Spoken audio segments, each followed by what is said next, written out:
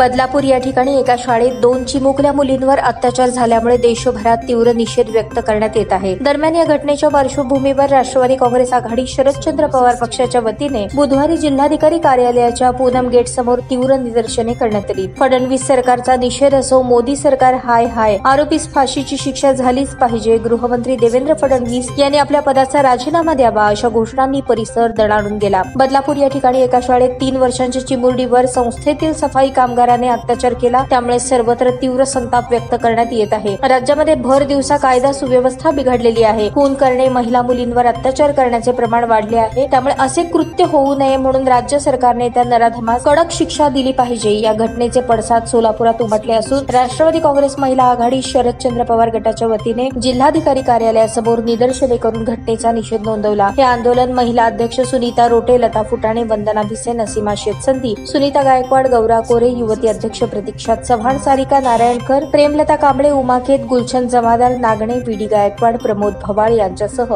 पदाधिकारी आणि कार्यकर्ते मोठ्या संख्येने उपस्थित होते.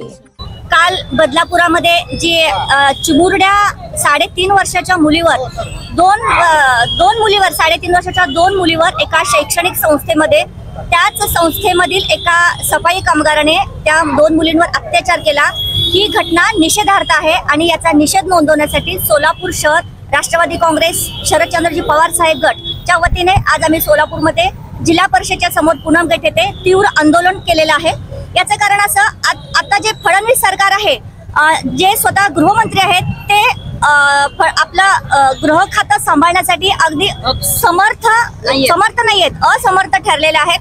आणि अशा फडणवीसांनी जर आपल्याला आपल्या लेकी बाळांना आपल्या मुलींना सुरक्षा देता येत नसेल तर त्यांनी राजीनामा द्यावा असं आम्ही राष्ट्रवादी काँग्रेस पक्षाच्या वतीने त्यांना जाहीर आवाहन करतो. त्यांनी लाडकी बहीण जी योजना आणली आम्ही फडणवीस साहेबांना सांगू इच्छितो फडणवीस साहेब तुम्ही लाडकी बहीण योजनेच्या अंतर्गत महिलांना दीड दीड हजार रुपये दिले. त्याचा आम्हाला अभिमान आहे पण आमच्या लेकींना आमच्या मुलींना तुम्ही सुरक्षा द्या हीच आमची आपल्याला विनंती आहे.